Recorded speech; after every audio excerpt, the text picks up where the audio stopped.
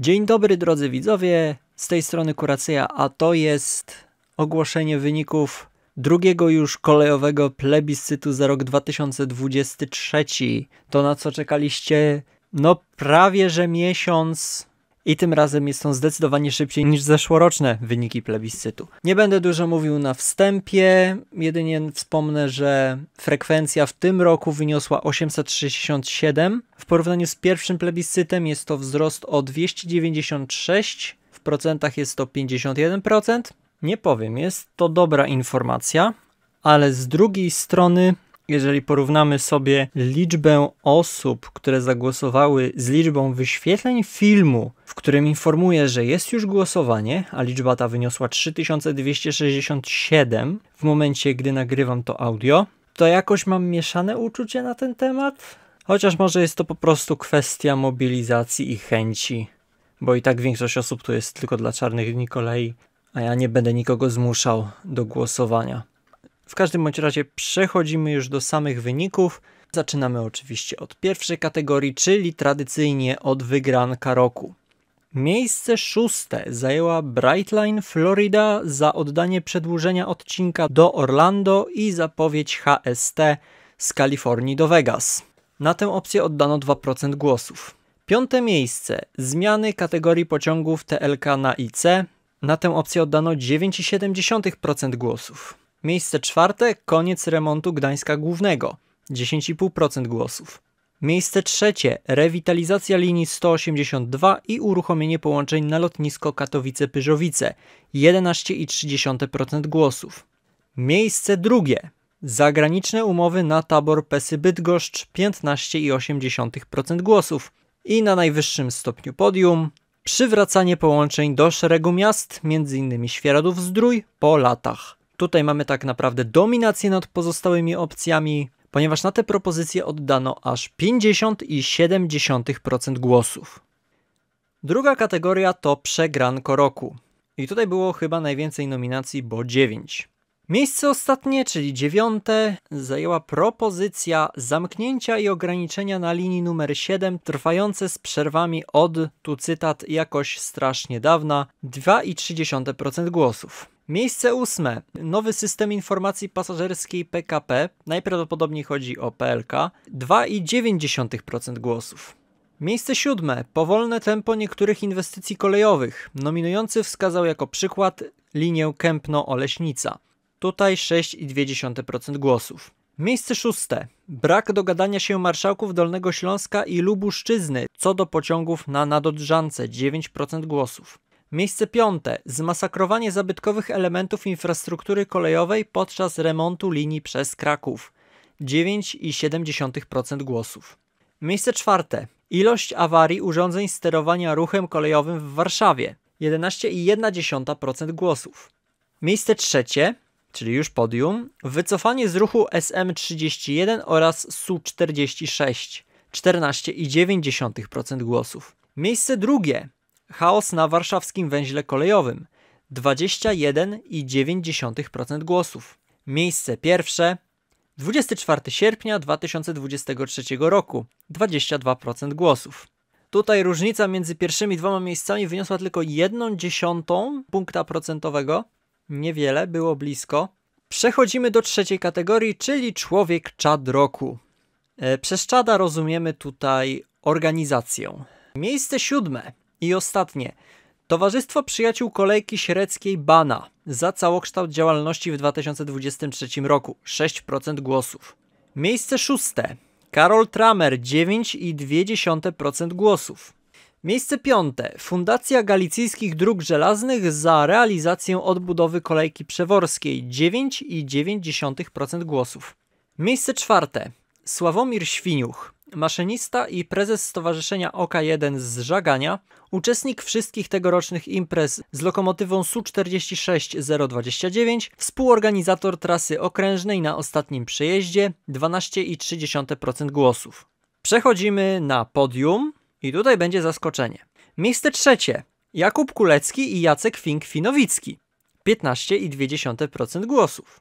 Szczerze, nawet sam się tego nie spodziewałem, więc nie będziemy mieli obrony tytułu, nawet jeżeli nagroda jest wspólnie z Jackiem. Miejsce drugie. Koleje mazowieckie za zastąpienie niezmodernizowanych EN57 przez Flirty 3 17,1% głosów. No i na najwyższym stopniu podium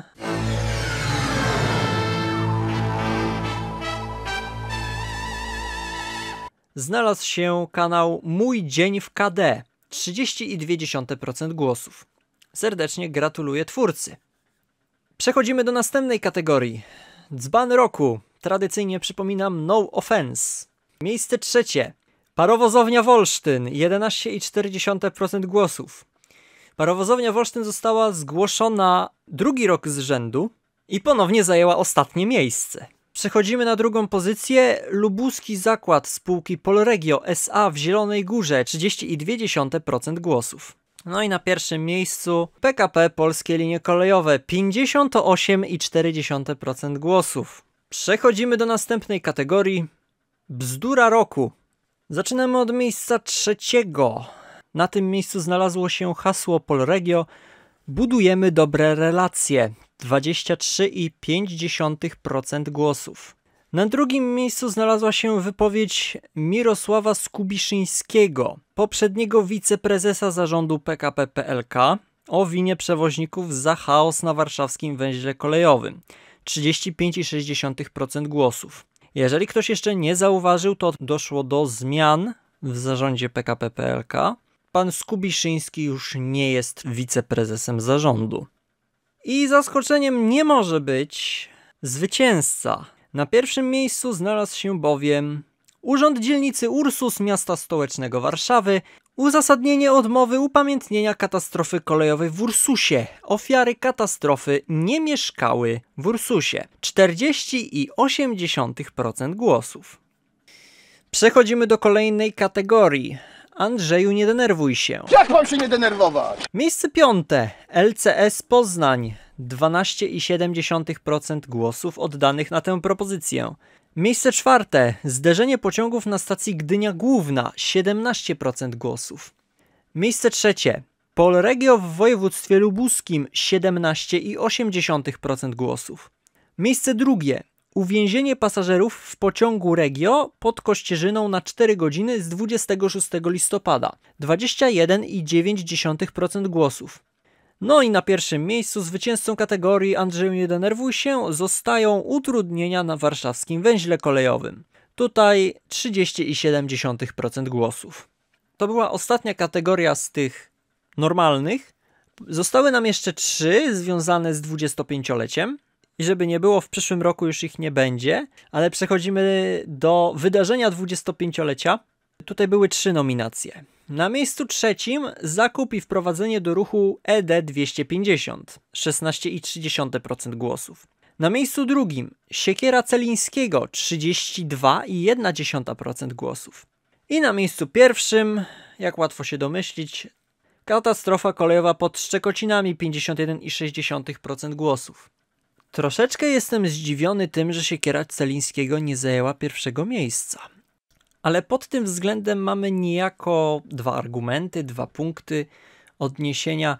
Z jednej strony katastrofa kolejowa pod Szczekocinami miała miejsce 12 lat temu, a Siekiera Celińskiego to 24 lata temu. Dwa razy większy odstęp czasowy niż w przypadku Szczekocin. Z drugiej strony Siekiera Celińskiego jest niejako odpowiedzialna za to, jak obecnie wyglądają połączenia regionalne w Polsce. Czy można powiedzieć efektem motyla?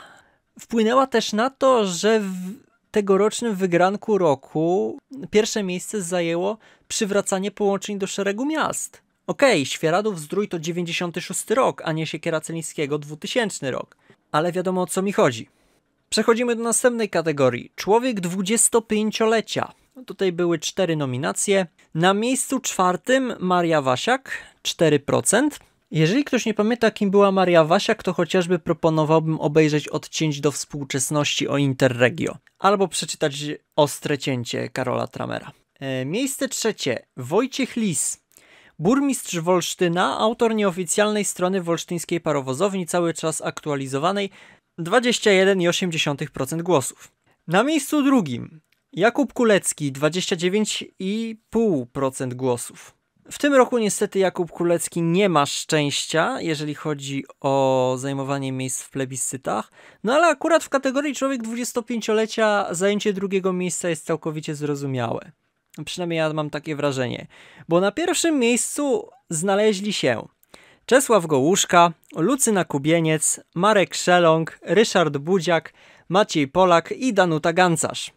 Czyli załogi pociągów obsługiwanych EN 57840 i EN 571271 oraz dyżur na ruchu z Jeleśni z 19 grudnia 2005 roku. Na te propozycje zostało oddanych 44,8% głosów.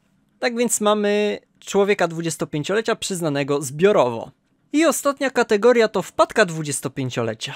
Tutaj było dość ciekawie, jak za chwilę zobaczycie w wynikach. Chociaż były tylko trzy nominacje. Trzecie miejsce. Niekończąca się modernizacja linii E20. 24,2% głosów. Na miejscu drugim Ewa Michalska, obecnie Ewa Zielińska. Szyny były złe. 37,8% głosów. Na pierwszym miejscu jest wypowiedź Pawła Neja rzecznika PKP Intercity w 2009 roku. Teraz tylko czekać, aż relacje międzynarodowe zaczną obsługiwać tramwaje, autobusy miejskie zaczną jeździć za granicę, a przewoźnicy towarowi zaproponują tani transport węglarkami na wakacje. 38% głosów. Do końca nie było wiadomo, kto wygra w tej kategorii, no ale widać, że wpadką 25-lecia została wypowiedź pana rzecznika. I to w zasadzie jest tyle, jeżeli chodzi o plebiscyt za 2023 rok. Jedynie mam do Was dwie prośby. Obserwujcie, co się dzieje przez cały rok i spisujcie sobie potencjalne propozycje nominacji. Bo w tym roku duża część kategorii miała mniej nominacji niż w zeszłym roku.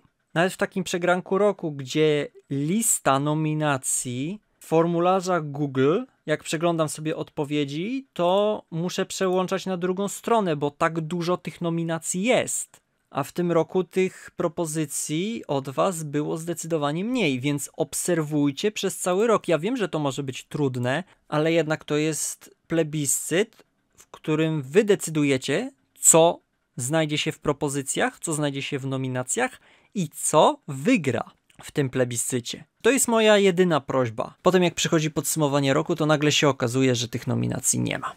I to w zasadzie jest tyle, co chciałem przekazać, żeby uniknąć potencjalnych komentarzy pod tytułem Kiedy następne czarne dni kolei. Sezon szósty się wybiera. Trwa selekcja wypadków, jakie zostaną omówione w sezonie szóstym. Czy będą jakieś aktualniejsze wypadki, a nie tylko PRL? To się zobaczy. Czy będą jakieś wypadki starsze? To się zobaczy. I proszę Was bardzo, dajcie mi czas. Nie wiem jeszcze kiedy będzie sezon szósty, ale w tym roku postaram się jeszcze bardziej zbalansować, żeby nie było pod rząd kilku wypadków z lat 70., bo to się staje monotonne. Ale może coś będzie o kradzieżach węgla. Zobaczymy. Tak więc dziękuję Wam za wysłuchanie wyników plebiscytu i życzę Wam dobrego dnia, dobrej nocy, w zależności od kiedy tego słuchacie. I do usłyszenia następnym razem.